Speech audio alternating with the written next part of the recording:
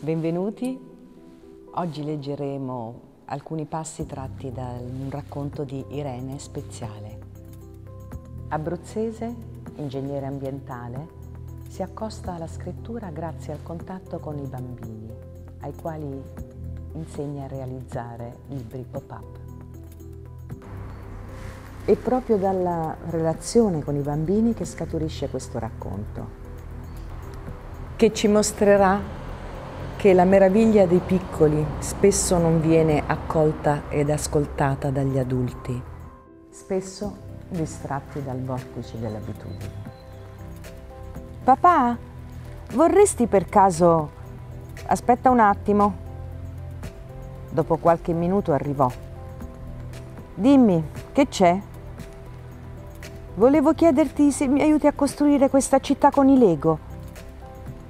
Ora sono stanco, ma tu sei grande, sai farlo da solo, dai, disse al bambino che corrugò la fronte. Anzi, facciamo così. Quando la finisci, chiamami che facciamo una foto e la mandiamo a nonna su WhatsApp, va bene?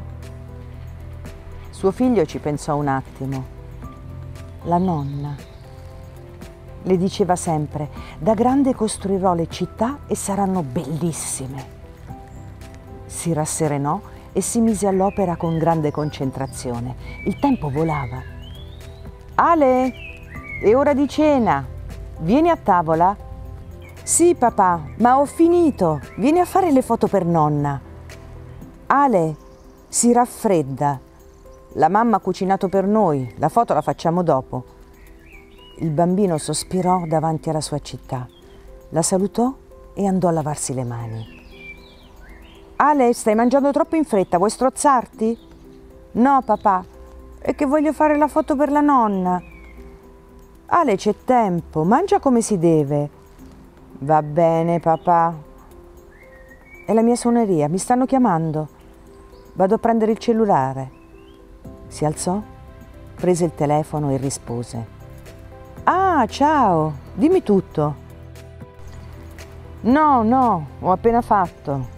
Sì, aspetta che mi sposto, qui c'è la tv accesa. Ale intanto aveva finito di cenare e aspettava che il padre si liberasse per poter fare la foto per la nonna.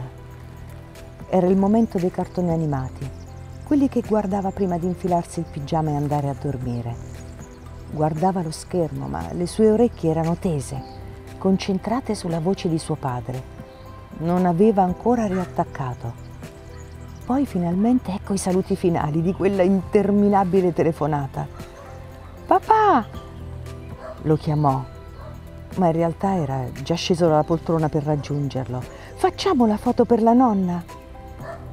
Ah, la foto. Eh, ma Ale, adesso è, è tardi. Meglio non disturbare la nonna. La facciamo domani, ok?